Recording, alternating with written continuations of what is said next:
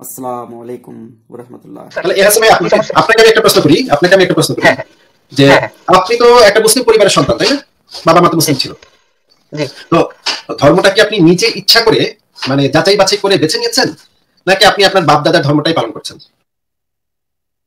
ভাই ধর্ম যাচাই করা কি একটা ধরেন আমি যদি বলি যে ধরেন একটা ছেলে বারো বছর দশ বারো বছর থেকে তাকে ইসলামের বিধান যেটা নামাজ তাকে পড়তে হবে। এখন এই বয়সে কি এর সূক্ষ্ম সূক্ষ্ম যাচাই বিশ্লেষণ করে বোঝা আহ, এটা কি তার পক্ষে সম্ভব? বলেন।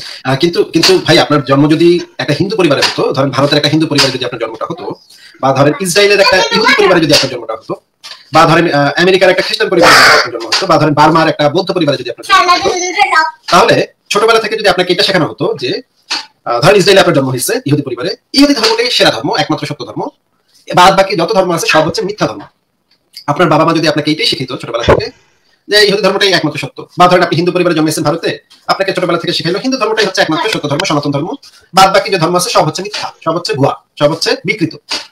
আপনাকে, আপনার পরিবার থেকে, আপনার স্কুল থেকে, আপনার কলেজ থেকে সবাই একই জিনিস আপনাকে শেখা, শেখালো। ছোটবেলা থেকে আপনার মন মানসিকতাটা তৈরি করা হলো এমন ভাবে যে আপনি বড়ই হইলেন এই জিনিসটা মাথায় নিয়ে যে আপনার আচ্ছা এখানে তো বারবার ইকো হচ্ছে মানে বারবার শব্দ হচ্ছে আমার এখানে সরি আপনি ছোটবেলা থেকে এইভাবেই বড় হয়েছেন যে হিন্দু একমাত্র সত্য ধর্ম, বা বেদই হচ্ছে একমাত্র সত্য বাদ বাকি যা আছে সব হচ্ছে মিথ্যা। আপনাকে ছোটবেলা যদি এইভাবেই বড় করা হয়, এবং একটা সময় যখন আপনি একটু বড় হলেন, তখন আপনার অলরেডি আপনার মগজের ভেতরে ঢুকাই দেওয়া হয়েছে যে, আপনি যে ধর্মে জন্মগ্রহণ করছেন, সেই ধর্মটাই হচ্ছে একমাত্র সত্য ধর্ম। তখন কি আপনার ভেতরে একটা পক্ষপাতিত্ব চলে আসবে না ভাই? কি বলেন আপনি? হ্যাঁ এটা আসতে পারে, তবে এখানে আরেকটা কথা আছে। কিন্তু এই জিনিসটা তো আপনি মানে স্বীকার করেন যে একটা বাচ্চাকে যদি ছোটবেলা ধরেন আপনার একটা বাচ্চা হয়েছে সেই বাচ্চাটাকে আমেরিকান একটা লোক নিয়ে গেছে।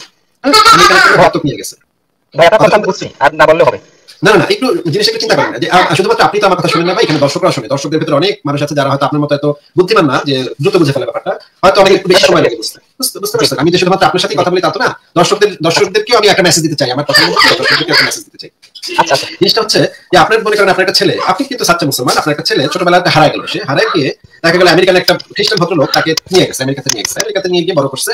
আমেরিকান খ্রিস্টান একটা পরিবারে চার্চে নিয়ে যেত, তারপরে যীশু খ্রিস্টের কথা শোনাইতো মেরির কথা শোনাইতো, তারপরে মানে হলি গোস্টের কথা শোনাইতো, ঈশ্বরের কথা শোনাইতো। এবং এইভাবে সে আস্তে আস্তে বড় হয়েছে, ঠিক আছে? বড় হওয়ার পরে কি হলো? সে কিন্তু খ্রিস্টান ভাই বড় হলো তার কাছে একমাত্র সত্য ধর্ম হচ্ছে খ্রিস্টান ধর্ম। বাইবেল হচ্ছে একমাত্র সত্য কেতাব। বাদ বাকি যে মোহাম্মদ এবং কোরআন এগুলো হচ্ছে তার কাছে ভুয়া। কারণ ছোটবেলা থেকে তাকে এইভাবে মাইন্ডসেট করা হয়েছে মোহাম্মদ হচ্ছে ভুয়া নবী মোহাম্মদ হচ্ছে ভণ্ড নবী মোহাম্মদ হচ্ছে আরব দেশের একটা লোক যে হচ্ছে মিথ্যা কথা বলছে হ্যাঁ? এইভাবে যদি তাকে বড় করা হয় ছোট তাহলে একটু বড় হওয়ার পর তো তার মাইন্ডসেট তো এরকমই থাকবে। নাকি ভাই? কি বলেন আপনি? হুম হুম, তার মাইন্ডে সেভাবে থাকবে। সেই অবস্থায় মনে করেন আপনার সাথে তার দেখা হইল। এবং আপনি তাকে বললেন যে বাবা মানে ইসলাম ধর্মটাই তো সত্য ধর্ম। মোহাম্মদই তো সত্য নবী শেষ নবী। আর কোরআনটাই তো হচ্ছে কি আল্লাহ পাকের কেতাব। আপনার কি মনে হয় সে আপনার কথা শুনে আপনাকে পাত্তা দিবে? পাত্তা দিবে না এটাই স্বাভাবিক। তাহলে বোঝা যাচ্ছে যে এরকম একটা এরকম যদি একটা ঘটনা ঘটে তাহলে সে আপনাকে পাত্তা না দেওয়াটাই স্বাভাবিক। হতে পারে পাত্তা দিবে কিন্তু সাধারণত যেটা আমাদের মনে হয় যে সে হয়তো বেশিরভাগ সময় যেটা হবে পাত্তা দিবে না আসলে? মানে সে আপনাকে বলবে ধর লোক কি বলে? পাগল লোকটা কি বলে? এই পাগল লোকের কথা কোনো দাম আছে এগুলো মিথ্যা কথা বলতেছে আমাকে তার ধর্মে নেওয়ার জন্য চেষ্টা করতেছে। এটা নিশ্চয়ই কোনো উদ্দেশ্য আছে এই লোকে এই লোক নিশ্চয়ই ধান্দাবাজ সে চায় আমার আপনাকে যেমন আপনাকে যেমন একজন খ্রিস্টান এসে যদি এখন বলে যে আসো ভাই খ্রিস্টান ধর্মে কনভার্ট হো আপনার যেরকম অনুভূতি হবে আপনি যেরকম ভাববেন এই বেটা হ্যাঁ আসছে খ্রিস্টান ধর্ম প্রচার করতে। এই দুই নম্বর বেটা দাদাবাজ ডাউন বাটপার। আপনি যখন যেরকম ভাববেন সেও তখন সেরকম ভাববে যে আসছে, একটা মুসলমান দাদাবাজ আসছে সে ধর্ম প্রচার করতে আসছে, দেখছ? ওই কোনখানকার কোনখানকার কোন আরব নাকি দেশে, সৌদি আরবের একটা মূর্খ বালক, সে কি নাকি কি লেখছে কোরআন, সেগুলো নিয়ে আসছে বেড়ে আসছে আমার কাছে ধর্ম প্রচার করতে। এরকম তো ভাবাটাই স্বাভাবিক? আমি যেটা বলতে চাচ্ছি যে, প্রত্যেক মানুষের তো উচিত আসলে যেই ধর্মের পরিবারে জন্মেছে, সেই ধর্মটা কি একমাত্র সত্য বা একমাত্র আসল? একমাত্র ঐশ্বরিক কেতাব হিসেবে না মনে করে যাচাই বাছাই করে দেখা, হইতে পারে ঘটনাক্রমে আমি এমন একটা পরিবারে জন্মাইছি, সেই পরিবারে সেই ধর্মটা মিথ্যা এমন তো হতে পারে। আমি আপনাকে বলতেছি না যে আপনার আপনার ধর্মটা মিথ্যা, কিন্তু এমন তো হইতেই পারে যে ঘটনাচক্রে হয়তো আপনি এমন একটা ভুল ধর্মের পরিবারে জন্মগ্রহণ করছেন, যেই পরিবারটা একটা ভুল ধর্ম গ্রহণ করছিল। আপনি যদি যাচাই করে না দেখেন যে এই ধর্মটা আসলে সত্য নাকি, ধর্মটা সঠিক কিনা, যদি যাচাইটা না করেন তাহলে আপনি কি নিশ্চিতভাবে এই জিনিসটা বলতে পারেন যে আপনার ধর্মটা সত্য ধর্ম? আমাদের সাথে ফারাজ ভাই যুক্ত হয়েছে। ফারাজ ভাই, জি ভাই জি ভাই, আমি আচ্ছা ফারাজ ভাই আমি আমাদের সাথে এই হাসান ভাই যুক্ত হয়েছেন। এই হাসান ভাই খুবই ভদ্র মানুষ ওনার সাথে আমরা কথা বলছি। ওনাকে আমি একটা উনি আমাকে একটা প্রশ্ন করেছেন আমি চেষ্টা করেছি উত্তর দেয় আমিও একটা প্রশ্ন করেছি ওনাকে দেখি উনি আমাদেরকে কি উত্তর দেয়। তাহলে ফারাজ ভাই ওনার উত্তরটা আমরা একটু শুনে নিই নাকি ভাই? অবশ্যই ভাই হ্যাঁ হাসান ভাই আপনি বলেন তাহলে এবার। জি আসিফ আসলে আপনার কোশ্চেনের অ্যান্সার কোশ্চেনটা আমি বুঝছি। তো আমি বলব যে যদি ওই যে ইহুদি মানে খ্রিস্টানের সাথে দেখা হইলে সে আমাকে পাত্তা দেবে না আমি যদি তাকে আমার ধর্মের কথা বলি। হ্যাঁ এখানে আমি বলব আমার ধর্মে যে সে আমি বলব হ্যাঁ ইসলাম ভালো আপনি ইসলামে আসেন। কথা এখানেই শেষ না। আমি তাকে জানতে বলব আমার ধর্মে কি আছে তার খ্রিস্টান ধর্মে কি আছে সে যদি হিন্দু হয় তাহলে তার আপনার হিন্দু ধর্মে কি আছে আমার ধর্মে কি আছে আপনি দেখেন আপনি পড়াশোনা করেন জানেন হ্যাঁ ইসলাম তো আহ, একটা ইহুদি বা খ্রিস্টানকে যে আমাকে বাধ্য করতে হবে ইসলামে আনতেই হবে এমন কিন্তু কিছু না এমনটা সত্য না। মানে আমি তার মানে হাসান ভাই আপনি তাকে জানতে বলতেছেন মানে এর অর্থ হচ্ছে যে আপনি তাকে যাচাই করে দেখতে উৎসাহিত করবেন নাকি? হ্যাঁ হ্যাঁ অবশ্যই অবশ্যই। মানে আপনি মানে কোরআনটাও পড়তে বলবেন আচ্ছা ভাই তুমি কোরআনটাও পড়ো তুমি বাইবেলটাও পড়ো তুমি গীতাও পড়ো বেদ পড়ো তুমি ত্রিপিটকও পড়ো তুমি মানে আহুল মাজদা পড়ো তুমি যা সব ধর্মগুলো পড়ো তারপর তুমি ভাই মানে সিদ্ধান্ত নাও যে কোন ধর্মটা সত্য। এরকম তো বলবেন নাকি ভাই? না আমি তো প্রথমে বলব আমার আমি যদি আমার ধর্মকে সত্য বলি তাহলে আমি বলব যে সে যে ধর্মটা আছে সেটাও তো সে জানে বা কম বেশি। এবং আমি বলব যে আমার ধর্ম দিকে আপনাকে ডাকছি আপনি আমার ধর্ম সম্পর্কে জানেন আমি তো সত্য বলছি এবং আমার কথাটা কি কতটুকু সঠিক এবং আমার ধর্ম কি আসলেই সঠিক কিনা আপনি একটু জানেন পড়াশোনা করেন ঠিক আছে? যদি যদি এই দুইটা ধর্ম করে তাহলে সে হয়তো এই দুইটা ধর্মের বাইরেও তো আর ভালো ভালো বড় বড় ধর্ম আছে তাই না? যদি সেটা ধর্ম করে এমন তো। হতে পারে ভাই এমন তো হতে পারে যে আপনারা দুইজনই ভুল ধর্মের পরিবারে জন্মেছেন তিন নাম্বার যে ধর্মটা সেটা হচ্ছে আসলে সত্য ধর্ম। কিন্তু আপনারা দুইজনই বেকুবের মতো মানে আপনাদের পরিপূর্ব পুরুষ হয়তো বেকুবের মতো দুইটা ভুল ধর্ম গ্রহণ করছে। আপনি ভুল ধর্মে আছেন, সেও ভুল ধর্মে আছে। তিন নাম্বার যে বেটা সেই বেটা বোধহয় হয়তো সঠিক ধর্মে আছে। সেই বেটা কিন্তু আপনাদের কাছে আসে নাই।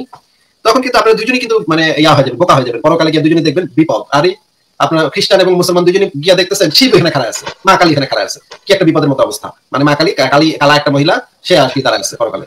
তখন তো ভাই বিপদ হবে। মানে আমাদের কি উচিত না যে মানে অনেকগুলো ধর্ম কম্পেয়ার করে দেখা পরে দেখা, যাচাই করে দেখা।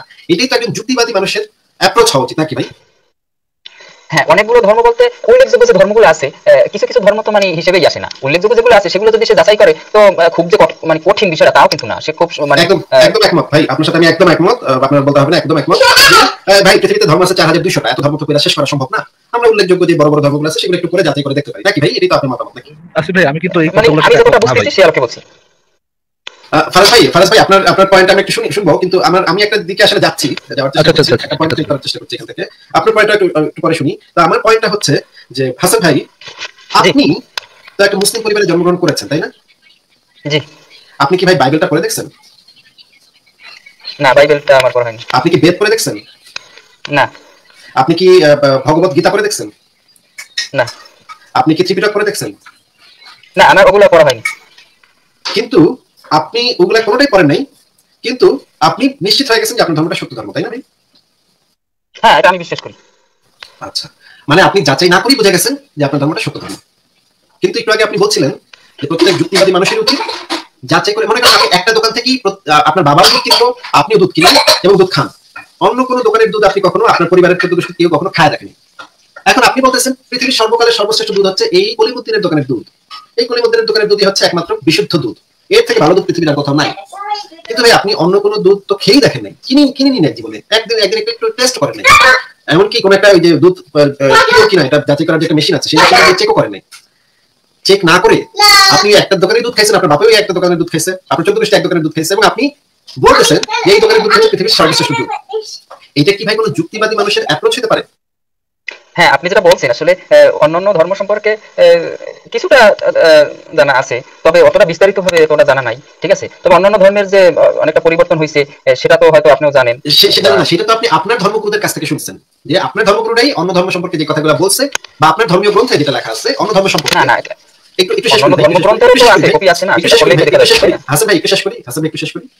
আপনার ধর্মগুরুরাই বা আপনার ধর্মের গ্রন্থতেই যে অন্য ধর্ম সম্পর্কে যেটা লেখা আছে সেটা আপনি পড়ছেন। কিন্তু তাদের ধর্মগুলো সম্পর্কে জানতে হলে তো তাদের ধর্মগ্রন্থ পড়তে হবে। আপনার ধর্মে খ্রিস্টানদের সম্পর্কে যা লেখা আছে আপনি শুধুমাত্র সেটা পড়ছেন যে আপনার ধর্মগ্রন্থে লেখা আছে খ্রিস্টানরা তাদের ধর্ম তাদের ধর্মগ্রন্থকে বিকৃত করে ফেলছে। আপনি এইটা পড়ছেন কিন্তু তাদের ধর্মগ্রন্থে কি লেখা আছে সেটা কি আপনি পড়ছেন?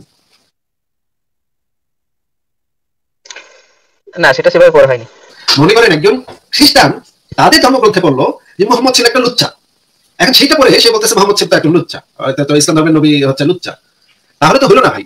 তাহলে মানে মোহাম্মদ কি ছিল সেটা জানতে হলে তো মুসলমান ইসলামের যে নবী মানে ঈশ্বর যে মানে সিরাত গ্রন্থ সেই সিরাত গ্রন্থ থেকে পড়তে হবে যে মোহাম্মদ কেমন ছিল। খ্রিস্টানদের গ্রন্থে মোহাম্মদ সম্পর্কে কি লেখা আছে? এটা পরে তো আসলে একটা বায়াস মানে একটা বায়াস মানে বায়াস শব্দের মানে কি? মানে হচ্ছে গিয়ে তাদের পক্ষের একটা কথা আপনি শুনতে পাবেন তাই না? তাদের পক্ষের মোহাম্মদ তাদের তারা মোহাম্মদ সম্পর্কে কি ধারণা করতেছে সেই কথাটা শুনতে পাবেন। কিন্তু তাদের মানে মোহাম্মদ আসলে কেমন সেটা জানতে হলে তো মোহাম্মদ আসলে কেমন মানে সিরাত গ্রন্থতে কি লেখা আছে সেটা আপনার পড়া থাকতে হবে। নাহলে তাদের জানতে পারবেন। একইভাবে খ্রিস্টান ধর্মের মানে আকিদা কি? খ্রিস্টান ধর্মের নিয়ম কানুন কি বা খ্রিস্টান ধর্মের কি পরিবর্তন হয়েছে নাকি হয় নাই? এটা করতে হলে তো আপনি মুসলমানদের ধর্মগ্রন্থে খ্রিস্টানদের সম্পর্কে কি লেখা আছে? এটা বললে তো ভাই আপনার হবে না। আপনার তো যেটা করা উচিত ছিল সেটা হচ্ছে, খ্রিস্টানদের বই পড়ে দেখা উচিত ছিল যে তাদের কি কি পরিবর্তন হয়েছে, সেটা আদৌ পরিবর্তন কিনা বা সেটা কেমন কি এটা তো তাদের ইয়া থেকে পড়তে জানতে হবে। নাকি ভাই? এখন শোনেন, খ্রিস্টানদের যে মানে ওদের যে বইগুলো, ঠিক আছে, ওগুলো তো ওগুলোরও তো কপি আছে বা সেগুলো পড়লেও তো দেখা যায়। অথবা তাদের সাথে কথা বললে মানে দেখা যায়। মানে- দেখা যায় মানে কি আমি হয়েছিল, বুঝি না ভাই, দেখা যায় কি আপনি- নাই আপনি কি সেটা পড়ে দেখেছেন? নাকি আপনি আপনার ধর্মগুরুদের থেকে শুনেছেন? এটা পড়লে দেখা যায়। এরকম এরকম দেখা যায়। এটা এই কথাটা আপনি কার কাছ থেকে শুনেছেন? নিজে পড়ে দেখেছেন যে দেখা যায়? নাকি হয়তো আপনার একটা হুজুর সে একটা ওয়াজে এটা ওয়াজ করছে যে আরে খ্রিস্টানদের ধর্মগ্রন্থ পড়লে দেখা যায়? এটা কি আপনি আপনার হুজুরের থেকে শুনছেন? মানে অন্যের মুখে ঝাল খাইছেন? নাকি নিজে ঝালটা খাই দেখছেন ভাই? না আমি পড়ছি তবে অত বিস্তারিত পড়া হয়নি। ভাই আমি- আমি আপনাকে গ্যারান্টি দিতে পারি যে আপনি বাইবেলের কোনো অংশই পড়েননি। আমি আমি এই বিষয়ে নিশ্চিত আপনি বাইবেলের কোনো অংশই পড়েননি। আমি আপনাকে তিনটা প্রশ্ন করি বাইবেল সম্পর্কে। না না সেটার উত্তর আমি দিতে পারব না কারণ কিন্তু ভাই আমি না আমি সেটা পারব সেটা আমি বলছি পারব। হ্যাঁ, হ্যাঁ, সেটা বুঝতে পেরেছি। আমি কিন্তু ভাই বেশিরভাগ ধর্মগ্রন্থ পড়ে দেখছি খুব ভালোভাবে পড়ে দেখছি। আচ্ছা হাসান ভাই আমাদের সাথে ফারাজ ভাই ফারাজ ভাই আপনাকে একটা জিনিস পয়েন্ট বলবে। ফারাজ ভাই আপনি তাহলে আপনার পয়েন্ট একটু বলেন ভাই এই যে এই আহ, এই পজিশনটা যে প্রত্যেকটা ধর্ম আমাদেরকে যাচাই করে দেখতে হবে পড়ে দেখতে হবে এই স্ট্যান্ডের সাথে আমি একমত না, এই জন্য ভাই। কেননা যারা ধর্মতে কনভিন্সড বা ওই ধর্ম যারা বুঝছে পড়ছে তারা তো বুঝে ফেলাইছে আলটিমেট রিয়ালিটি তাই না? তাদের গডের সাথে তাদের কোনো একটা সরাসরি কানেকশন ছিল, গড তাদেরকে কোনো একটা বই দিছে, ওইখান থেকে তারা আলটিমেট রিয়ালিটি জেনে ফেলাইছে।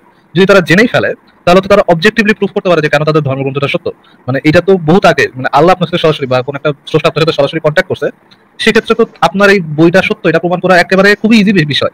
একেবারে খুবই ইজি বিষয় যে আল্লাহ রিজনিং দিয়ে দিবে বা আল্লাহ প্রমাণ দিয়ে দিবে কেন এই ধর্মগ্রন্থ ধর্মগ্রন্থটা হচ্ছে মহান ঈশ্বর পাঠাইছে। এখানে তো কোনো আর্গুমেন্টের বিষয় থাকতো না। এখানে যে আমার আলাদা করে পড়ে দেখতে হবে, এরকম তো হওয়ার কথা ছিল না। এটা তো একেবারেই ফিক্সড হয়ে যাওয়ার কথা ছিল যে হ্যাঁ মোহাম্মদের কাছে কোনো একটা রেভলিউশন আসছে এবং এটা সত্য। আর এটা অবজেক্টিভলি সত্য, এটাকে এটা নিয়ে সাবজেক্টিভ ভিউ থাকার কোনো দরকার নেই যে আমি বিশ্বাস করি, আমি বিশ্বাস করি না, এরকম কোনো কিছু থাকার দরকার নেই। আমার কাছে কিছু প্রমাণ আছে, ওটার উপর আমি বিশ্বাস করি। বিশ্বাস শব্দটা তো এটার সাথে রিলেটেড থাকারই দরকার ছিল না। আসিফ হ্যাঁ, ভাই করেন ছোটবেলা থেকে বড় একটা ধর্মীয় পরিবেশে বড় হই থেকে শিখি আমরা?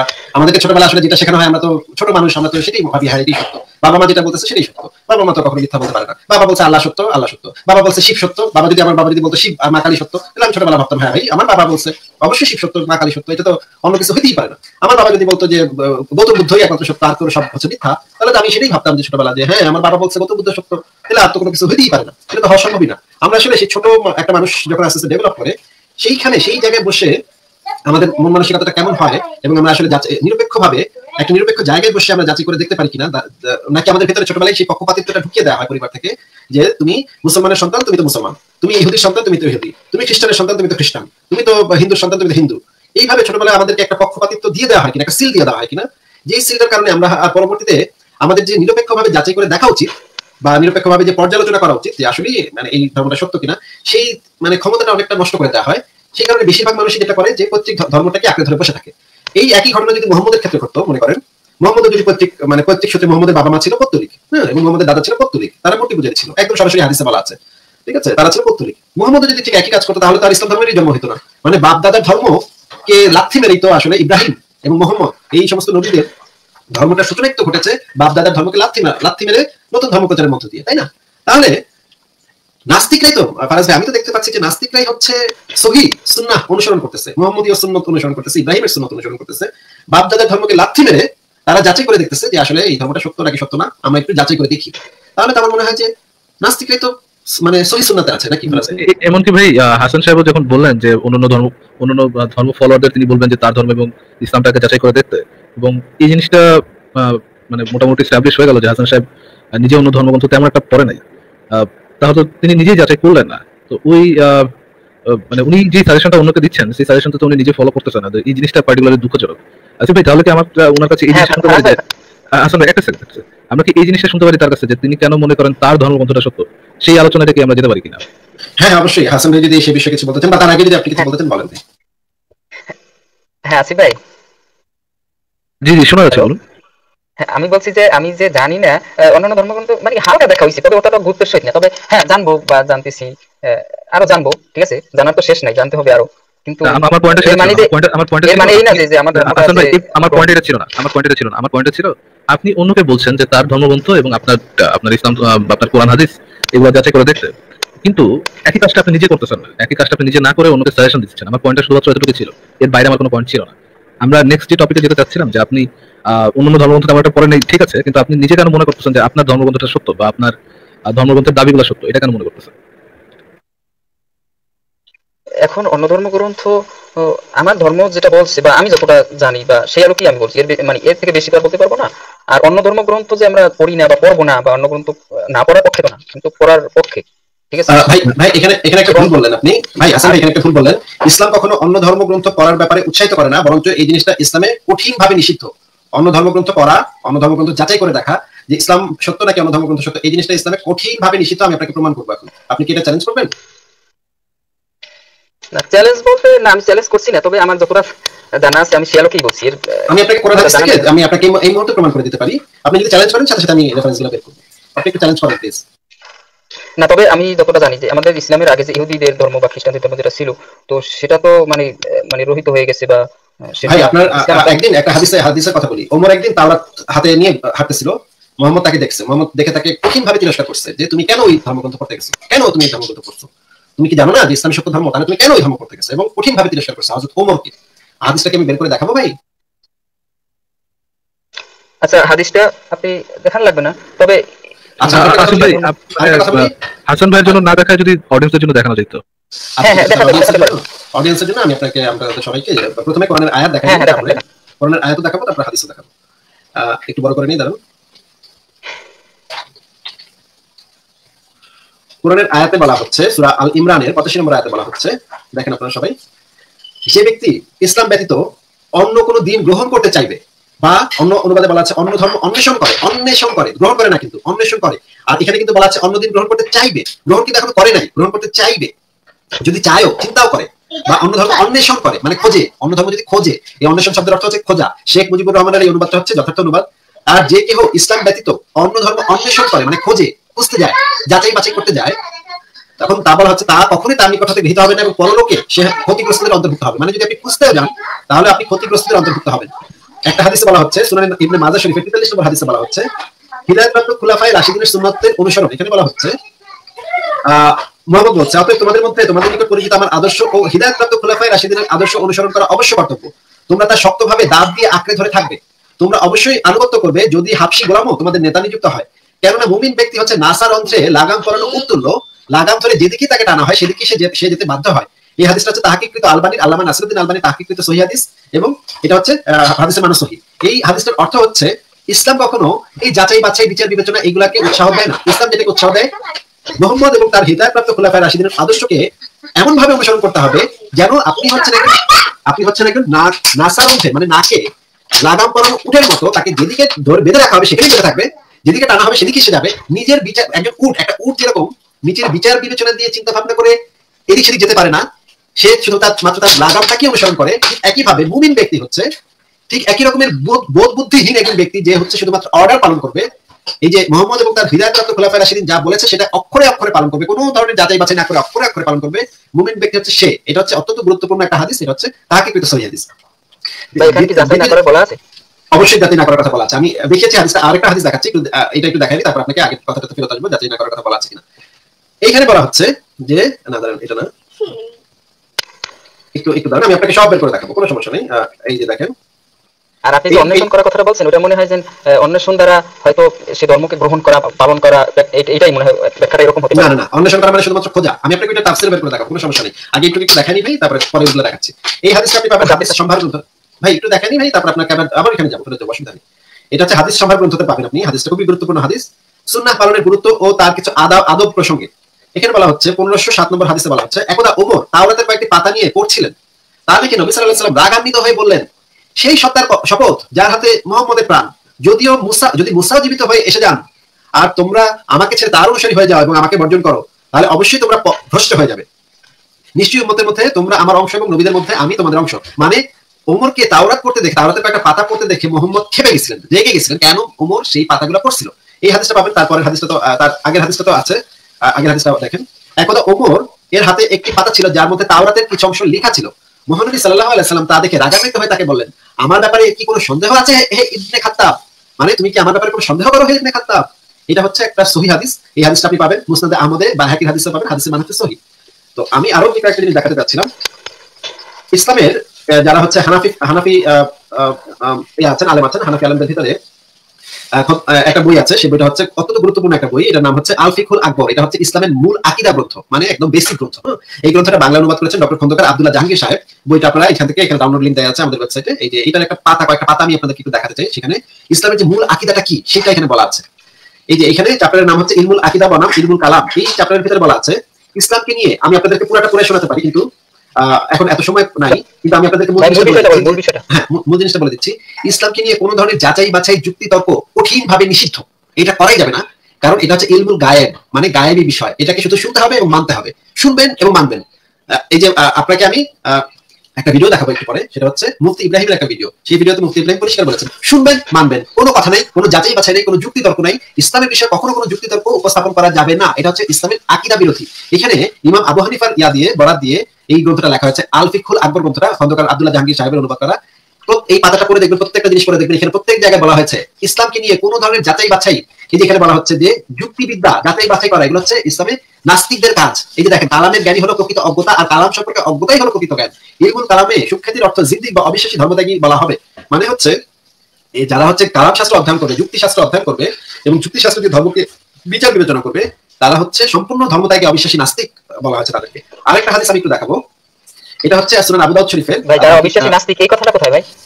আচ্ছা এই কথাটা আপনি দেখেন। অবিশ্বাসী বা নাস্তিক এটা কোথায়? আচ্ছা দেখাচ্ছি দেখাচ্ছি এই- যে দেখেন। আপনি কি স্ক্রিনটা দেখতে পাচ্ছেন ভাই? আর একটু বড় করা যাবে? আর এর চেয়ে বড় করতে হবে ভাই এখানে তো পরিষ্কার দেখা যাচ্ছে। হ্যাঁ হ্যাঁ দেখতে পাচ্ছি হ্যাঁ দেখতে পাচ্ছি। আচ্ছা আর বড় করছি আচ্ছা বড় করছি। এখন হ্যাঁ, দেখা যাচ্ছে। ভাই জি জি আচ্ছা। দেখা যাচ্ছে। পৃষ্ঠা নাম্বারটা আমি বলে দিচ্ছি আপনাকে। পৃষ্ঠা নাম্বারটা হচ্ছে একশো একান্ন নম্বর পৃষ্ঠা আলফিকুল আকবর বঙ্গানুবাদ ও ব্যাখ্যা।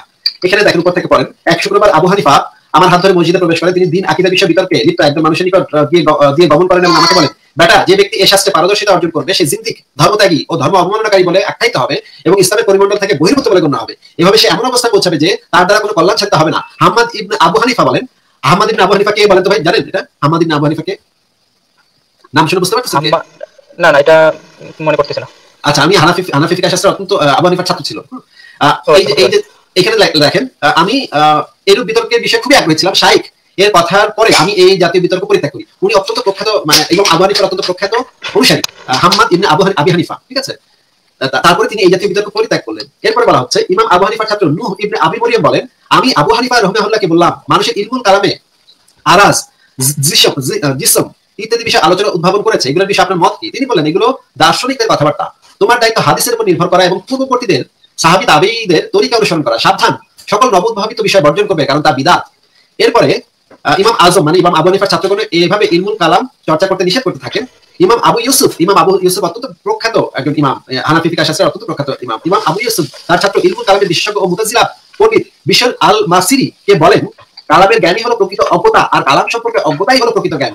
ইলমুল কালামের সুখ্যাতির অর্থ জিন্দিক বা ধর্মত্যাগী, অবিশ্বাসী ধর্মত্যাগী বলা হবে। ভাই, দেখতে পাচ্ছেন এখানে? মানে ইলমুল কালামের সুখ্যাতির অর্থটাকে জিন্দিক বা অবিশ্বাসী ধর্মত্যাগী বলা হবে। আচ্ছা ইমাম আবু ইউসুফ আরও বলেন যে ব্যক্তি ইলমুল কালাম শিক্ষা করবে, সে জিন্দিকে পরিণত হবে মানে ধর্ম থেকে বের হয়ে যাবে। ইমাম শাফি, যে হচ্ছে চার মাঝহের একজন ইমাম, প্রখ্যাত ইমাম ইমাম শাফি শাফি প্র- প্রধান ইমাম, তিনি বলেন, যারা ইলমুল কালাম চর্চা করবে, তার বিষয়ে আমার এই বিধান তার বিষয়ে আমার বিধান এই যে, তাদেরকে খেজুরের ডাল ও জুতা দিয়ে পেটাতে হবে। এভাবে মহল্লায় মহল্লায় ও কাবিলা সমূহের মধ্যে ঘুরিয়ে নিয়ে বেড়াতে হবে এবং বলতে হবে, যারা কিতাব ও সুন্নাহ ছেড়ে ইলমুল কালামে মনোনিবেশ করে, তাদের এই শাস্তি। মানে যুক্তিবিদ্যা, যুক্তিশাস্ত্র যাচাই বাছাই করা, যারাই করবে, তাদের জন্য হচ্ছে এই শাস্তি দিয়েছেন কে? ইমাম শাফি মানে শাফি মাযহাবের ইমাম ইসলামের চার মাযহাবের একজন ইমাম মানে তাকে কিন্তু সবাই মানে। এই ইমাম শাফিকে কিন্তু সব মাঝাবি মানে কিন্তু যদিও তিনি আলাদা মাঝাবের কিন্তু তাকে কিন্তু সব মাঝাবি মানে। ভাই আপনি কি আরও পরে শোনাবো আপনাদের আপনাদেরকে? না না ভাই শোনেন আপনি যেগুলো দেখাইছেন তো এগুলোর মানে এগুলো দ্বারা কি বোঝানো হয়েছে এটা তো আপনি তো আপনার মতো বলছেন কিন্তু এটা দ্বারা কি আমি আমি আমার আমি আমার মতো বলে তো দিচ্ছি ব্যাখ্যা করেই নেই উনি তো শুধুমাত্র পড়ে দিলেন না এখানে যেভাবে লেখা আছে কিন্তু এটা দ্বারা কি বোঝানো হয়েছে এটা তো একটু একটু জানতে হবে বা এই ব্যাপারে করতে হবে। এই জন্য তো এই জন্য আমি বলছিলাম যে আমি পুরোটা পড়ে শুনি। পুরোটা পড়ে শোনালে আপনি আরও ডিটেলসে দেখতে পেতেন কিন্তু আমি কিন্তু নিজের কোনো বক্তব্য এখানে দিই নাই হ্যাঁ এখানে কিন্তু নিজের কোনো বক্তব্য নাই আমার। আমি কিন্তু একটা কথা নিজের থেকে বলি নাই এখানে যদি বলাই থাকে ইমাম শাফির কথাই থাকে যে যারা আহ, কালাম শাস্ত্র চর্চা করবে তাদেরকে খেজুরের ডাল ও জুতা দিয়ে পেটাতে হবে? তো এইটার মধ্যে ইন্টারপ্রিটেশন আর কি বাকি থাকে? আর আসিফ ভাই এখানে কি আসিফ ভাই কোনো ইয়ে এখানে ইন্টারপ্রিটেশন কি বাকি থাকে না, সেই জিনিসটা বোঝার ইন্টারেস্ট ভাই হাসান ভাই ভাই ভাই ভাই এক সেকেন্ড এক সেকেন্ড এক সেকেন্ড এই যে দেখেন ইলমুল কালাম জিনিসটা কি সেই জিনিসটা একটু যদি না বুঝাই দিই তাহলে এখানে একটু ইয়ার হয়ে যাচ্ছে হ্যাঁ? একটু মনে হচ্ছে যে অনেকে হয়তো বলবে যে ইলমুল কালাম বলতে কি বুঝাইছে? আমরা তো বুঝতেছি না। এটা আসিফ ভাই মনে হয় নিজের মতো করে মন মতো ব্যাখ্যা করে দিচ্ছে এই আমি দেখা দিচ্ছি যেন কি বলতে না পারে যে ইলমুল কালাম জিনিসটা কি সেটা আমি আমার মন মতো ইচ্ছা মতো ব্যাখ্যা করছি। এই জিনিসটা ওই বইতেই লেখা আছে। এই যে দেখেন গ্রিক লগোস লোগোস মানে লজিক হ্যাঁ? শব্দ দ্বারা কালাম শব্দটি গৃহীত হয়েছে। লগোস শব্দটি অর্থ বাক্য, যুক্তি, বৃত্তি, বিচার, বুদ্ধি, পরিকল্পনা ইত্যাদি। লগোস থেকে লজিক শব্দটির উৎপত্তি, যার অর্থ তর্কশাস্ত্র বা যুক্তিবিদ্যা। হ্যাঁ নিচে বলা আছে, সর্বাবস্থায় ইলমুল কালাম বলতে দর্শন বা যুক্তিবিদ্যা ভিত্তিক ধর্মতাত্ত্বিক আলোচনা বা গবেষণা। স্পেকুলেটিভ থিওলজি স্কলাস্টিক থিওলজি বোঝানো হয়। এখানে বলা হচ্ছে, প্রাচীন যুগ থেকে দার্শনিক মানবীয় যুক্তি, বুদ্ধি, জ্ঞান ও দর্শনের মাধ্যমে মানবীয় ইন্দ্রিয় অজ্ঞাত সমূহ গবেষণা করেছেন। এই যে যুক্তিশাস্ত্র, যুক্তিবিদ্যা যাচাই বাছাই করে দেখা মানে এই জিনিসগুলা কি ইলমুল কালাম বলা হয়? আমি কি ভাই মানে প্রত্যেকটা রেফারেন্স দেখাইছি নাকি আমি নিজে থেকে কোনো কিছু ব্যাখ্যা করেছি? বলেন তো এবার। না ওখানে যে ওই যে একটা কথা আছে না যে কোরআন সুন্নাহ বাদ দিয়ে যে এই যে যুক্তি তর্ক করবে তো এই কথাটা দ্বারা আসলে কি বোঝানো হয়েছে? তো ফিকুল একবারে যেটা লেখা আছে আসলে এটা আরও একটু পড়তে হবে তো এই কথাটা দ্বারা কি বোঝানো হয়েছে? এটা আরও একটু জানতে হবে ঠিক আছে? এটা জানার পরে বিষয়টা বুঝিনি আমি আমি আমি বুঝিনি। মানে কোরআন সুন্নাহ বাদ দিয়ে যারা যুক্তিতর্ক আহ, যুক্তিতর্ক করবে তাদেরকে যে ছোট করে দেখা এখানে কোন জিনিসটা বোঝা যায় না একটু বলেন মানে কোন জিনিসটার মধ্যে ল্যাকিংস হচ্ছে কোন জিনিসটা তো ধরতে পারতেছেন না? না, আপনি তো বলছেন বা এখানে যে বলতেছে লেখা আছে, আসলে এটা দ্বারা কি বোঝানো হয়েছে কোনটা দ্বারা কি বোঝানো হয়েছে? যে এখানে যারা কোরআন হাদিস থেকে, বা কোরআন হাদিস থেকে যুক্তিবিদ্যার উপর বেশি আগ্রহ দেখাবে, তাদেরকে মানে পানিশমেন্ট করা হবে। যেমন যে ডাল খেজুর গাছে ডাল এবং জুতাদের পিটানো হবে। ইমাম শাফির বক্তব্য। এখানের মধ্যে কোথায় মানে বুঝতে সমস্যা হচ্ছে সেই জিনিসটা বুঝতেছি না। কিন্তু ফারাজ ভাই আরও অন্য রেফারেন্স গুলোতে তো বলা হয়েছে যে যারা কালাম শাস্ত্র চর্চা করবে মানে হচ্ছে যুক্তিবিদ্যা চর্চা করবে যুক্তিবিদ্যা দিয়ে ইসলাম ধর্মকে যাচাই করে দেখার চেষ্টা করবে তাদের কথা তো মানে উপরে আমি তো সেটা সেই কথাটা তো ইমাম আবু ইউসুফের কথা আমি বললাম ভাই। মানে মানে যারা যুক্তিবিদ্যা দিয়ে যাচাই করতে যাবে এবং যুক্তিবিদ্যার চর্চা করবে বা কোরআন হাদিসের থেকে ওইটাকে বেশি প্রায়োরিটি দিবে প্রত্যেককে প্রত্যেকেই পানিশমেন্টের অন্তর্গত বা প্রত্যেককেই ছোট করে দেখা হয়েছে প্রত্যেকেই খারাপ খারাপ ভাবে ইয়ে করা হয়েছে। যদি এটা থাকে হ্যাঁ, যদি এটা থাকে তাহলে হাসান ভাই আপনি যেই সাজেশনটা দিবেন অন্য কোনো খ্রিস্টান বা অন্য কোনো ধর্মাবলম্বীদেরকে যে দুইটা ধর্মগ্রন্থের মধ্যে যাচাই করে দেখো। এখন যাচাই করার টুলস আমাদের কাছে কি আছে? যুক্তি যুক্তিবিদ্যা আছে এবং বিজ্ঞান আছে। আপনি যদি দুইটা ইউজ না করেন তাহলে তো তাহলে তো আপনার এই যে সাজেশনটা এই সাজেশনটা মূলত রং আপনাকে বলতে হবে যে এরকম যে আমার কাছে আল্লাহর কথা আছে এটাকে তোমাকে পালন করতেই হবে। এখানে তো যাচাই করার কোনো সুযোগই নেই। হ্যাঁ হাসান ভাই আপনি আপনাকে আপনি তাহলে আমাদেরকে একটু রেফারেন্স দেখান যে কোথায় আল্লাহ নবী সমস্ত ধর্মকে যাচাই বাছাই করে যুক্তিবিদ্যা দিয়ে যাচাই বাছাই করে বিচার বিবেচনা করে তারপরে গ্রহণ করতে বলেছে। এরকম একটা রেফারেন্স কি আপনি দেখাতে পারবেন? আমি কিন্তু অলরেডি দেখিয়েছি অনেকগুলো রেফারেন্স যেখানে যুক্তিবিদ্যা তর্ক বিতর্ক যাচাই বাছাই এগুলোকে কঠিন ভাবে নিষিদ্ধ করা হয়েছে। আমি কিন্তু দেখেছি এবার আপনি কি কিছু দেখাতে পারবেন আমাদেরকে? না, আমি এই মুহূর্তে দেখাতে পারব না তবে মানে আচ্ছা তাহলে ভাই আমার শেষ প্রশ্নটা তাহলে ভাই আমার শেষ প্রশ্নটা একটু শুনেন ভাই শেষ প্রশ্নটা একটু শুনেন। মনে করেন এই একজন ব্যক্তি- এই বিষয়ে আরও জানতে হবে। হ্যাঁ অবশ্যই অবশ্যই আপনি জানবেন অবশ্যই ভালো কথা।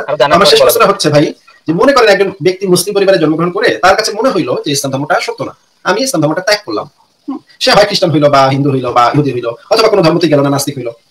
ইসলামের বিধানটা কি তার বিষয়? ইসলাম তাকে কি করতে বলে? এটা একটু বলেন তো ভাই।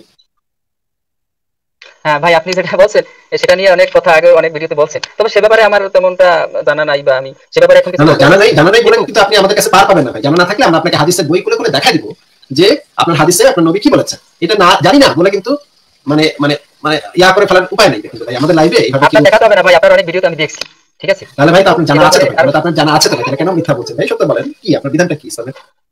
বিধানটা ওই যে মানে হত্যা কথা আপনি যেটা বলছেন এ, কল্লা উড়াইয়া দিতে হবে একদম সরাসরি ভাবে বলা কল্লা গর্দান উড়াইয়া দিতে হবে। ভাই শুনুন আপনি বলেন কখন আপনি বলেন কখন কোন প্রেক্ষিতে কখন কোন প্রেক্ষিতে সমস্ত প্রেক্ষিতে সমস্ত প্রেক্ষিতে গর্দান উড়াইয়া দিতে হবে। সমস্ত প্রে- যেই প্রেক্ষিতেই হোক না কেন। আমি একটু জানতে ইন্টারেস্টেড আছি ভাই ওনার কাছে জিজ্ঞেস করা যায় কি এমন কোনো প্রেক্ষিত এমন কোনো ইয়ে আছে সিচুয়েশন আছে কিনা যেখানে কেউ ধর্মত্যাগ করলে তাকে হাসি মুখে বিদায় দেওয়া যাবে? হ্যাঁ হ্যাঁ আপনি আমাকে দেখান তো ভাই হাসান ভাই। ভাই ও বিষয়ে আমি হয়তো অন্য সময় আমি এই ব্যাপারে তাইলে ভাই আপনি যদি এমন কিছু না জানেন হাসান ভাই আপনি যদি এমন কোনো প্রেক্ষিত না জানেন যেখানে কেউ ধর্মত্যাগ করলে তাকে হাসি মুখে বিদায় দিতে হবে। তাহলে প্রেক্ষাপটের বিষয়টা আসতেছে কোথা থেকে? আনলেন কীভাবে? যে কোন প্রেক্ষিতে তাকে হত্যা করা হবে কোন প্রেক্ষিতে তাকে হত্যা করা যাবে না? আমি যখন আপনাকে জিজ্ঞেস করলাম এমন কোনো প্রেক্ষিত আপনার জানা আছে কিনা? যেই যেই যে সিচুয়েশনে কেউ ধর্মত্যাগ করলে তাকে কোনো পানিশমেন্ট করা হবে না তাকে হাসি মুখে বিদায় দেওয়া হবে। এটা যদি আপনি না জানেন তাহলে প্রেক্ষিতের বিষয়টা কীভাবে আসে?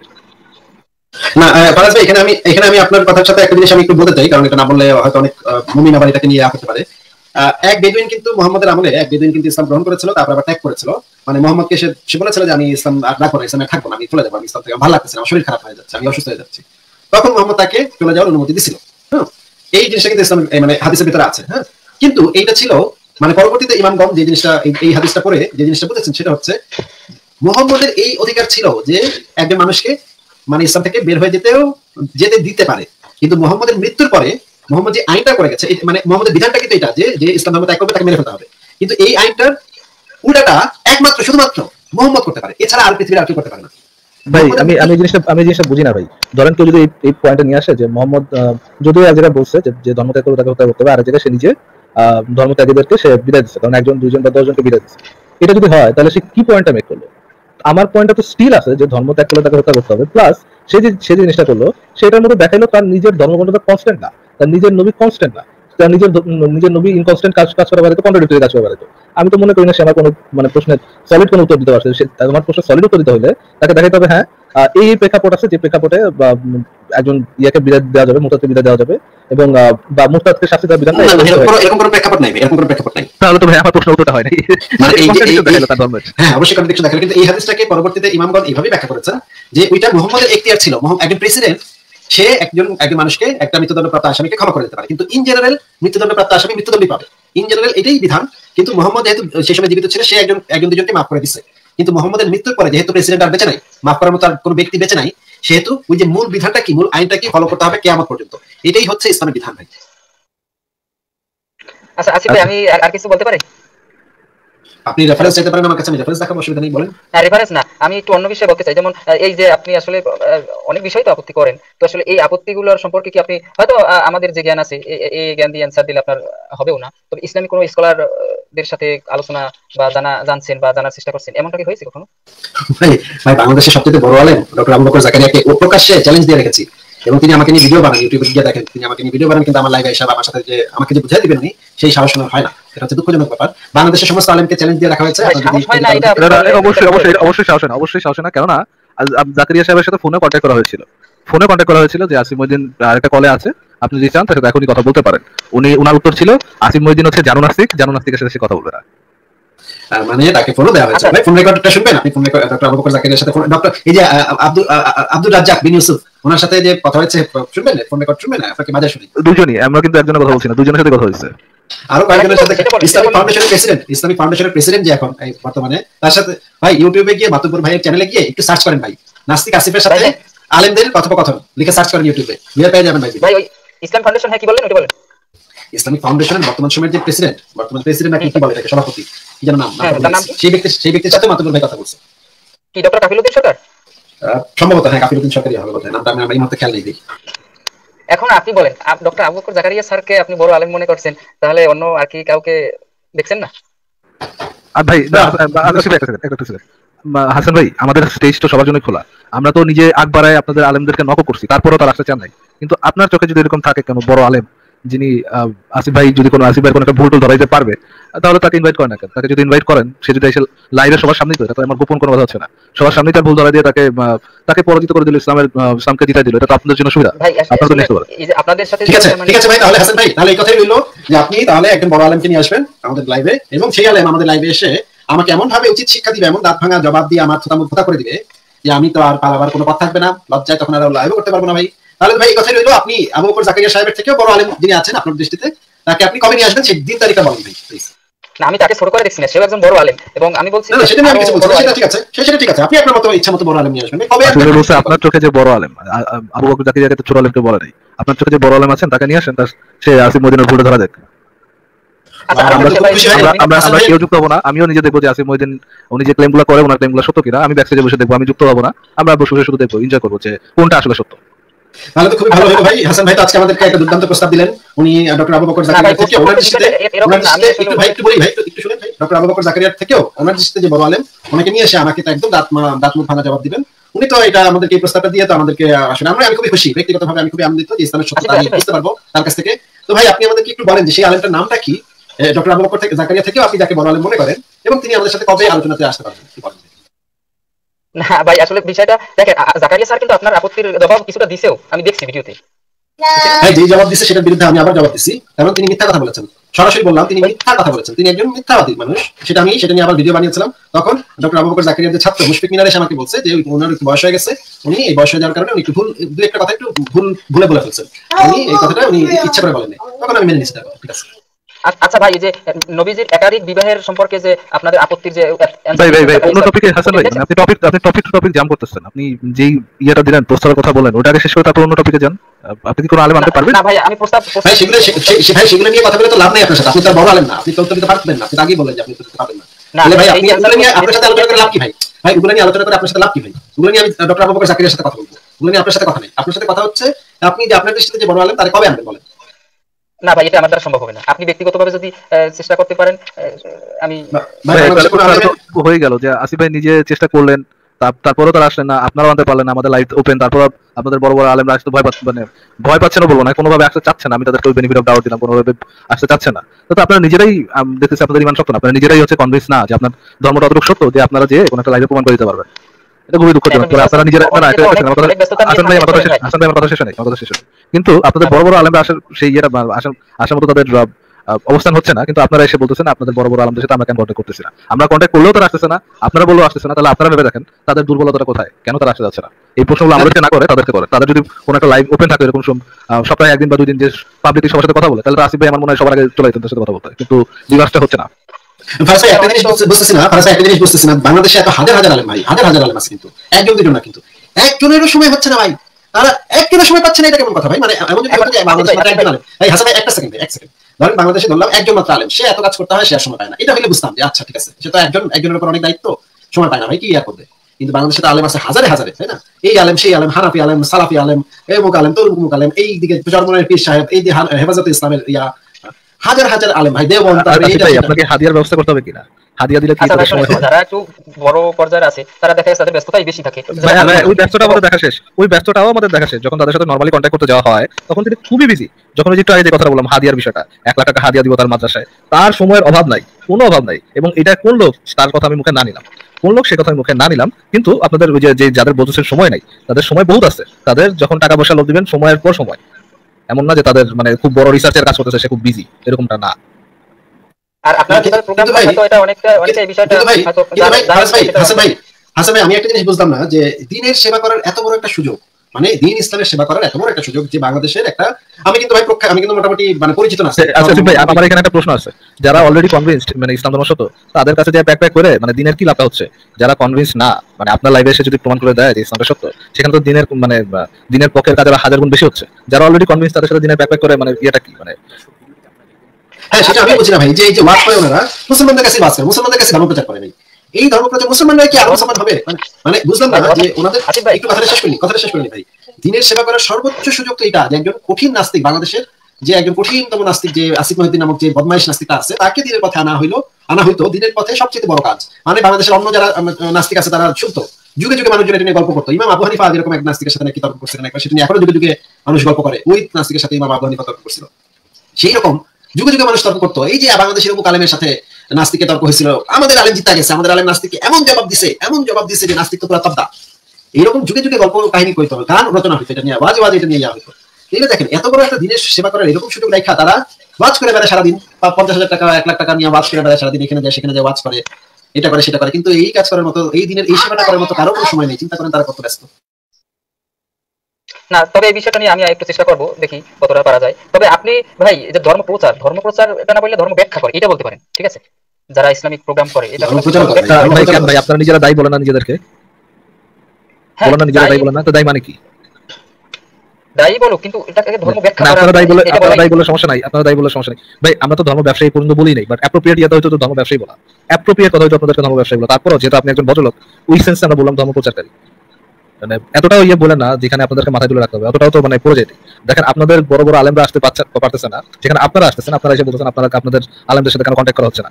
আপনারা এই কথাটা আপনাদের আলেমদের কেন বলেন না? আপনারা ওইখানে কেন প্রেশার করেন যে আপনাদের নিজেদের দলের লোককে কেন প্রেশার করেন যে, হুজুর, আপনি যান। তার মুখ ভাঙা মানে একটা মুখ ভাঙা জবাব দিয়ে আসেন। দাঁত ভাঙা জবাব দিয়ে আসেন সরি দাঁত ভাঙা জবাব দিয়ে আসেন। এই ধরনের কথা বলার উইয়ার উচিত শিক্ষা দিয়ে আসেন আসিফ মহিউদ্দিনকে। বলতে পারেন, কিন্তু আপনারা তো বলতেছেন এটা আসিফ ভাইকে বলে কি লাভ? তার সাথে তো আসিফ ভাইয়ের কোনো কন্ট্যাক্ট নেই। আপনার সাথে আছে? আপনি যে কন্ট্যাক্ট করেন। আচ্ছা হাসান ভাই একটা কথা বলি হাসান ভাই একটা কথা বলি। দুই সালে হ্যাঁ, আমার ফাঁসি চেয়ে বাংলাদেশে বেশ কিছু হেফাজত ইসলাম ঢাকা শহর ঘেরাও করছিল। বিশেষ করে আমার ফাঁসি চেয়ে এটা কি আপনি জানেন ভাই? ভাই এই প্রসঙ্গে আমি বলব আসিফ মহিউদ্দিন নামে কেউ আছে? এটা আমি হয়তো আগে জানতামই না। মানে ওই আচ্ছা আপনি জানতেন না আপনি জানতেন না আপনি জানতেন না হয়তো কিন্তু হেফাজত ইসলাম আমার মানে ছবি ব্যানার নিয়ে আমার নাম ইসলাম দিয়ে দিয়ে ঢাকা ঘেরাও করছিল। এটা তো সত্য এটা আমি আপনাকে প্রমাণ দেখাতে পারি। আপনি কি প্রমাণ দেখতে চান এটা না এটা প্রমাণ দেখার আচ্ছা তাহলে আপনাকে যে প্রশ্নটা প্রশ্নটা করি প্রশ্নটা করি প্রশ্নটা হচ্ছে আমার ফাঁসি চেয়ে হাজার মানে হাজার হাজার মানুষ নিয়ে লাখ লাখ মানুষ নিয়ে ঢাকা ঘেরাও করে মানে মানে মারামারি করতে হবে পুলিশের সাথে মারামারি করার মতো সময় ভাই আপনাদের আলেমদের আছে কিন্তু যুক্তি তর্ক করার সময়টুকু আপনাদের হচ্ছে না কেন? এটা তো একটা ভাই বিরাট প্রশ্ন আমার। ভাই আ- আসিফ ভাই ইমাম শাফি তো মরে গেছে সে তো কবর থেকে উঠে ওই খেজুরের ডালা জুতা দিয়ে পিড়ে আসবে না সেখানে তাদের সমস্যাটা কোথায়? ভাই ওই বিষয়টা আমি একটু স্টাডি করব ঠিক আছে? এখন না না এটা এটা আপনি এই প্রশ্নটা আপনার করেন এই প্রশ্নটা আসিফ আসিফ ভাইকে করছে। ইমাম উঠে যেহেতু তো আমাকে একটু ইঙ্গিত করছেন আশা করি। তো আমি স্টাডি করে এই বিষয়ে হয়তো যদি সম্ভব হয় আপনার সাথে আবার উত্তর দেওয়ার চেষ্টা করব। আচ্ছা ঠিক আছে হাসান ভাই তাহলে আপনাকে হ্যাঁ আপনি যদি শেষে কিছু বলতে চান বলেন তারপর আপনাকে বিদায় দিন শেষে আচ্ছা ভাই ওই যে রাসূলের একাধিক বিয়ের সম্পর্কে যে জাকারিয়া স্যার যে অ্যান্সারটা দিয়েছে আপনাদের আপত্তি সম্পর্কে এটা কি আসলে আপনি বিষয়ে এড়িয়ে যাওয়ার চেষ্টা করছেন কেন? আসলে এটা তো ভাই জাকারিয়া ওইটার প্রেক্ষাপটে আমিও তো একটা ভিডিও করেছি ভাই, সেটা কি আপনি দেখেছেন? উনি যে জাকারির সাথে মিথ্যা কথা বলেছেন সেটা যে আমি ধরিয়ে দিয়েছি সেটা কি আপনি দেখেছেন ভাই সেটা আপনার সেটা কোথায় আছে? ইউটিউবে আছে? আচ্ছা আচ্ছা, আছে? হাসান ভাই আমি আমি আপনাকে একটা কথা বলি হ্যাঁ? আজকে তো আপনার সাথে কথা বলার তেমন কোনো ইয়ে নাই। আপনি যে জাকারিয়া সাহেবের ভিডিওটা একবার দেখেন উনি কি রেসপন্স দিচ্ছেন তা আর নিজে ওটা নিয়ে একটু গবেষণা করেন যে কি কি উত্তর আছে আপনার কাছে। ওটা নিয়ে আগামী কোনো একটা লাইভে আপনি আসেন হ্যাঁ? আমরা দেখব যে জাকারিয়া সাহেবের উত্তরটা কতটা ভ্যালিড ঠিক আছে? ওই ভিডিওটাও তো দেখে আসেন এবং আপনি নিজে আলাদা করে নিজে রিসার্চ করে আসেন। এসে দেখা যাবে যে আপনার আচ্ছা। জাকারিয়া সাহেবের উত্তরটা কতটুকু যুক্তিযুক্ত কতটুকু ভ্যালিড উত্তর উনি দিয়েছেন সেটা যাচাই করা যাবে। এখন নেক্সট কোনো টপিক হ্যাঁ ভাই খুবই চমৎকার কথা বলেছে। তাহলে আপনি জাকারিয়া সাহেবের ভিডিওটা আরও ভালোভাবে দেখে আপনি সেটাকে রপ্ত করেন হ্যাঁ? তারপরে নেক্সট লাইভে এসে কথাগুলো বলেন। সেটা একটু আমি যদি বলেন। আর সেটা ওটা তো ভিডিও- লাইভে দিয়ে দেওয়া হয়েছে ভাই ওটা তো মানে নোট রাখা হয়নি কোন ভিডিওতে ইয়ে করা হয়েছে। ওনার যেদিন আচ্ছা, আপনার response টা আপনার কথাটা শুনলে তো ভালো হইতো। যাক সেটা আমার কথা আলাদা করে শোনা লাগবে কেন? আপনি জাকারিয়া সাহেবের উত্তর না, ওই যে দিলেন আসিফ ভাই যে দিয়েছে, তো, সেই জাকারিয়া সাহেবের আসিফ ভাইয়ের- আলোকে। আসিফ ভাইয়ের উত্তরটা আলাদা করে শোনা লাগবে কেন? জাকারিয়া সাহেবের উত্তর তো গুড না সেটা না তার অ্যান্সারটা যদি ভুল হয় সেটা আপনি ভুল হবে কীভাবে হবে? মানে জাকারিয়া সাহেবের উত্তর ভুল হতে পারে? নাউজুবিল্লাহ কি বলেন আপনি এত বড় একজন স্কলার তার অ্যান্সারটা ভুল তার any anyhow answer- anyhow yeah Hasan ভাই মানে একটা কথা নিয়ে বেশি বারবার ইয়ে করা হচ্ছে আপনি এটা দেখে আসেন পড়ে আসেন নিজে রিসার্চ করে আসেন। করে এসে নেক্সট দিন আপনি এটা নিয়ে ডক্টর আসিফের সাথে আলোচনা করেন। আমরা সবাই শুনব যে জাকারিয়া সাহেবের উত্তরটা ভ্যালিড কিনা। কারণ জাকারিয়া সাহেব তো নিজে কখন আসবে না। আপনাদেরকে আসতে হবে। আপনারা নিজে একটু পড়ে আসেন দরকার হলে জাকারিয়া সাহেবের সাথে কন্ট্যাক্ট করেন। এই বিষয়ে যদি তার আরও কোনো কিছু লেখা টাকা থাকে বা জানা থাকে তার সাথে জেনে তারপরে চলে আসেন। ঠিক আছে? হ্যাঁ আপনি জাকারিয়া সাহেব নিজেই জাকারিয়া সাহেব হয়ে আমার সাথে তর্ক করেন। নেক্সট দিন এসে আপনি নিজেই জাকারিয়া সাহেব হয়ে আমার সাথে তর্ক করেন। জাকারিয়া সাহেব যা যা বলছে বা আপনিও যা যা বলতে চান সব দিয়ে আপনি আপনি আমার সাথে সেইভাবে তর্ক করেন। তাহলে তো সরাসরি হয়ে গেল সরাসরি আপনি উত্তর পেয়ে গেলেন আমি কি বলতে চাই সেটা সরাসরি শুনে ফেললেন তাই না? আচ্ছা ঠিক আছে। আর আরেকটা বিষয় আলোচনা করে পরকাল সম্পর্কে একটু বলতে চাচ্ছিলাম। অন্য একদিন আসিফ ভাই মানে ড্র্যাগ হচ্ছে। মানে আমার মনে হয় অন্য একজনকে শুনতে হচ্ছে। হ্যাঁ ভাই হাসান ভাই তাহলে আজকে আপনাকে বিদায় জানাই একদিন কথা বলব ঠিক আছে? আচ্ছা ঠিক আছে। ভালো থাকবেন। আচ্ছা ভাই আপনি ভালো থাকবেন। আচ্ছা ভাই আরেকটা কথা বলতে চাই। আসিফ ভাই, আসিফ ভাই। আচ্ছা আচ্ছা। হ্যালো। সেটা বলতে চাচ্ছি মিনার ভাই তো আপনাকে অনেক অ্যান্সার দিয়েছে। তো তার অ্যান্সারের আচ্ছা, আমি আমি আরেকটা প্রপোজাল আরেকটা প্রপোজাল দিই। এই যে জাকারিয়া সাহেবের যে উত্তরটা হ্যাঁ ওই উত্তরটা রপ্ত করে মিনা সাহেবকে আসতে বলেন। আপনার বদলে মিনা সাহেবকে আসতে বলেন।